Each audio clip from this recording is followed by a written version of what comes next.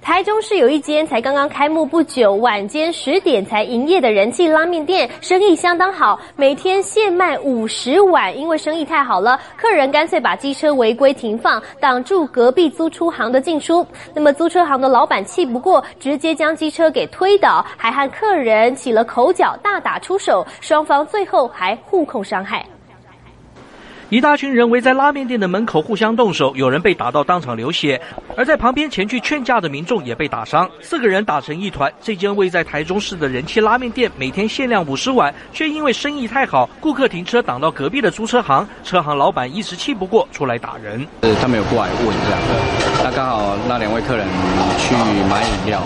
所以我们临时找不到这样，所以他们就把那个摩托车给踹倒。挡住租车行进出的机车被老板一下子就推倒，有客人看不过去，说了一句“没有必要这样，把机车移走就好”，反而让老板更加气愤。老板的弟弟低调地表示，有的时候机车真的会挡到门口，当然没办法出去啊。还好吧，有时候下班才会叫他们移啊。而有目击民众就表示，自己是排在第四个，好不容易等到他时，却发生斗殴的意外，让他只能请老板打包。而拉面店也因为这件斗殴事件，只卖出了四碗。至于起冲突的双方，则互控伤害，谁也不让谁。记者唐炯、赵建林，台中报道。